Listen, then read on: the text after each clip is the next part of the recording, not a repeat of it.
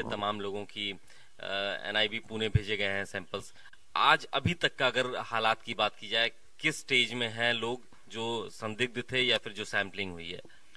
आ, नहीं अभी जो छह लोग का जो सफदरजंग भेजे गए थे उनका अभी पुणे से अभी रिपोर्ट नहीं आई है।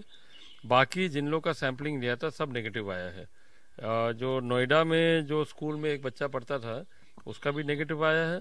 और जो आगरा में जितने लोग का हम लोग लिया था सबका नेगेटिव आया है।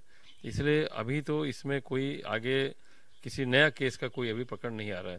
जिन लोग से ये परिवार कांटेक्ट में थे, उन सबका कर लिया हम लोग ने, और अभी किसी का भी पॉजिटिव रिपोर्ट नहीं आ रहा है। खाली छः जो सफदरजंग में थे, आगरा के लोग उन्हीं का अभी फाइनल रिपोर्ट अभी आया नहीं है एन आई वहाँ, पूना से। अच्छा दूसरी बात कि आगरा में हम लोग ने 25 टीम बनाए हैं। और डॉक्टर्स की टीम उन पूरे एरिया में जहाँ भी ये लोग रहते थे और जिनसे भी संपर्क सब पूरे एरिया में और एक जागरूकता भी अभियान शुरू किए हैं। घबराने की बात नहीं लेकिन थोड़ा पैनिक है। हमने देखा है कि आगरा में लोग अस्पतालों में जा रहे हैं सैंपलिंग के लिए। लोग चाह रहे हैं कि उनकी भी जाँच हो जाए क्योंकि आगरा में ही एक बड़ा मामला केस जो पकड़ में आया है। नहीं इसी इसी को ध्यान में रखते हुए हमारे टीम आगरा के मोहल्ले में भी घूम रहे हैं।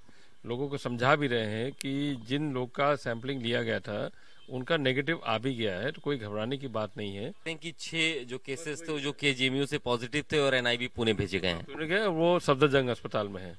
वो अभी उसका बाकी की सूचना नहीं है। बाकी सब नेगेटिव हमारे हैं। अभिषेक पांडे भारत समाचार लखनऊ।